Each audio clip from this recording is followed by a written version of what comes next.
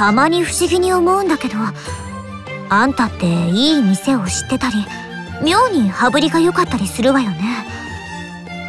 まさか変なバイトしてるんじゃ。コーヒーにチョコをトッピングすると美味しいのよ。お姉ちゃん物知りでしょ。何よリアクション薄いわね。カフェは不良が行く場所だって毛嫌いしていた先生が今や三つ星のカフェの常連なんですって。それだけここの商品は魅力的ってことかしら。レジの人に支払いは結構ですって言われたんだけどあんたがこっそり払っておいてくれたんでしょ？一体どこでそんな振る舞いを覚えてきたのかしら？シドそれ味見させて。私のもあげるから。期間限定も定番もどっちも味わいたい。そんな時は可愛い弟とシェアするに限るわね。コーヒーを買ったら一緒にメモ用紙を渡されたの。陰ながら応援していますって書いてあったわ。どう？お姉ちゃんは人気があるのよ。うちのクラスの男何も言わずにこっちをジロジロ見てきて感じ悪いったらないわ。シドあんたはあんな風になっちゃダメよ。この前友達から好きなタイプを聞かれて返事に困ったわ。理想をあげるとキリがないしかといって誰でもいいとは言えないし。趣味を聞かれると困るのよね。とりあえず県の自主練ですって答えるけどつまらないでしょ？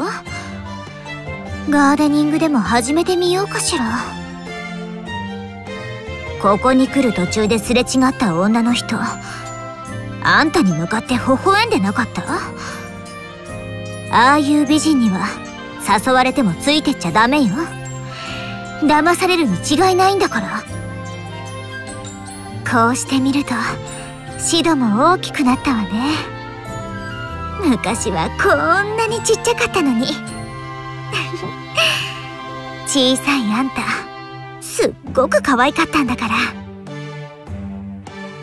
世の中あんまり穏やかじゃないけどこうしてシドの元気な顔を見たらホッとするわ。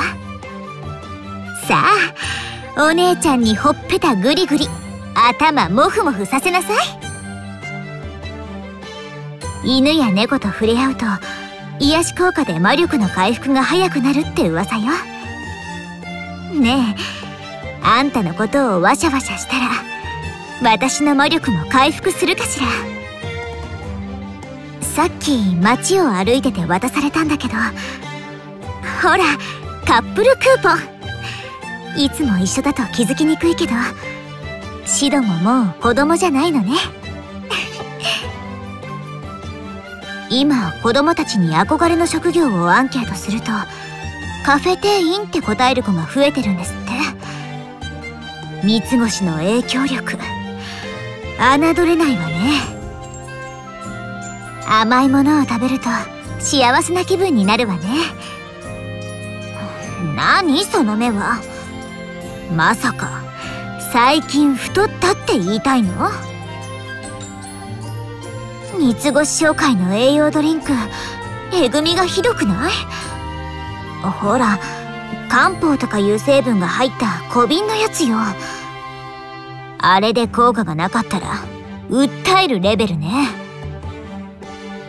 キムチ私は無理だわ。辛くて匂いがきついし。でも健康意識の高い騎士ほど食べてるんですって。ってことは克服した方がいいのかな？三つ星商会のローストビーフが食べてみたいな。噂によるとローストビーフ丼っていうメニューも格別らしいのよね。マグロナルドのシェイクに新作が出るんですって。次はどんなフレーバーが来るか楽しみだわ。でもあれって太るらしいから。飲みすぎには注意ね。ママたちの結婚記念日いつだっけ？お祝いをし忘れたらママの機嫌を損ねるかもね。こっそりハゲに確認しておくのが無難かな。ローズ会長は品があって人格者で剣士としての腕も一流で留学生なのに生徒会長。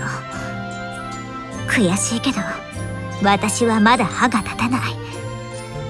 ええまだね。シドがよくつるんでる男の子たち。私を見かけると「お姉さん」って駆け寄ってくるの。挨拶はいいけどもう少し声のボリュームを抑えるように言っといて。シャドウガーデンだっけ？あの組織のメンバーは剣の実力に加えて美女揃いって噂なのよ。でも素顔は誰も知らないんだから無責任な噂よね。ねえシャドウの体格ってシドと似たり寄ったりよね。ってことはあんただって期待用によってはあこら逃げようとしないの。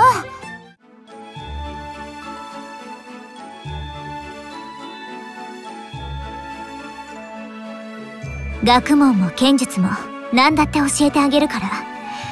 わからないところがあったら私に聞くこと。いい？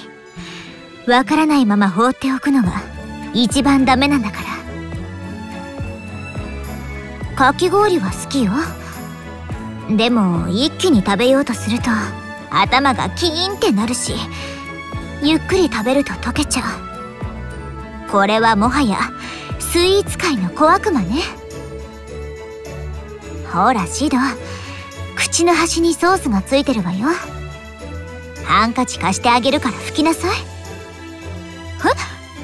え？私もついてる？なんで早く言わないの？学園で特訓を積んで確実に私の能力は上がった。ねえ今の私とハゲならどっちが強いと思う？なんて分かってる。さすがにまだハゲよね。三つ星の新商品のケーキ絶対美味しいわよね。そこでお姉ちゃんからの提案。